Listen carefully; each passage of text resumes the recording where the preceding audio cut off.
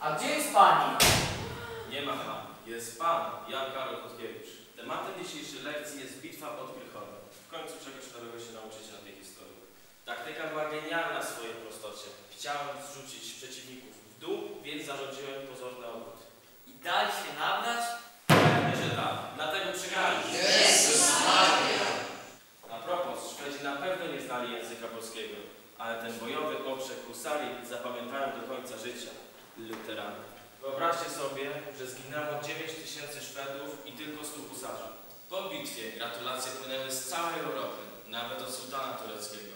Biedak nie wiedział, że jego syn zostanie pokonany